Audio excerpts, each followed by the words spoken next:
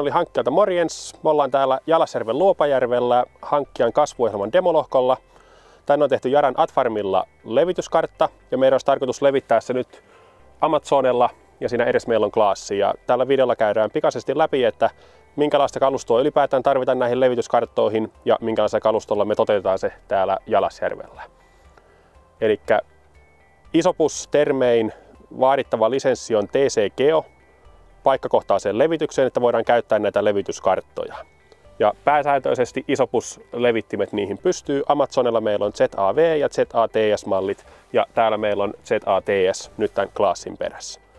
Traktorina on Isopus Glass ja siellä meillä on riittävä ohjain varustettu sopivilla lisensseillä, että homma toimii täällä levittimen päässä.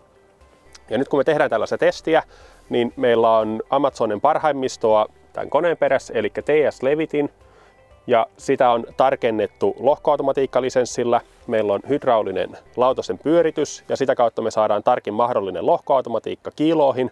Toki nyt meillä on täällä aika täsmällinen pelto, eli kiiloja ei välttämättä paljon synny. TS-levitin pystyy säätämään levityskartolla määrää molemmille puolille erikseen, riippuen käytettävästä näytöstä. Katsotaan täältä traktorin hytistä. Meillä on isopusohjaisen ohjaimena Amazonin Amatron 4, ja katsoa tältä näytöltä, miltä näyttää, kun sinne laitetaan levityskartat. Eli nyt meillä on tyhjä karttanäkymä, ja kun lisätään kartta, levityskarttoja voi lisätä SAPE-muodossa ja niin sanotussa isopus-tehtävä muodossa, eli iso XML tehtävätiedostona. Nyt meillä on Stefanin tekemä iso XML-tiedosto täällä USB-tikussa. Seuraavaksi liitetään USB-tikku Amatron 4 ja näyttö tunnistaa USB-tikun ja meillä oli tosiaan iso XML-tehtävätiedosto. XML-tehtävätiedostot saadaan tuotua nappia painamalla näyttöön.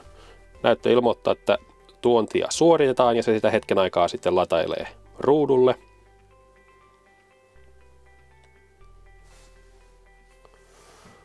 Ja seuraavaksi vain tehtävävalikosta haetaan meidän tuotu pelto.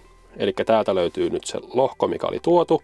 Ja lohkolta löytyy erilaisia tehtäviä, eli täällä on tämä AdFarmilla tehty levityskartta, minkä yleissilmäys löytyy valikosta. Ja sieltä myös pystyy tarkastelemaan arvoja. Ja tällä kyseisellä tehtävätiedostolla oli myös pellon rajat tuotuna valmiiksi helpottamaan levitystä, jolloin voidaan hyödyntää levittimen lohkoautomatiikkaa niin, ettei levitä rajojen ulkopuolelle. Kun on valittu haluamamme tiedot, hyväksytään se enterillä jonka jälkeen kone lataa tehtävän kartan taustalle ja sitten se näkyy meillä levityskarttana ja nyt ollaan koneen mukaan pellon rajalla. Ja täältä löytyy sitten Stefanin tekemä kartta, mitä seuraavaksi ruvetaan levittämään tänne pellolle.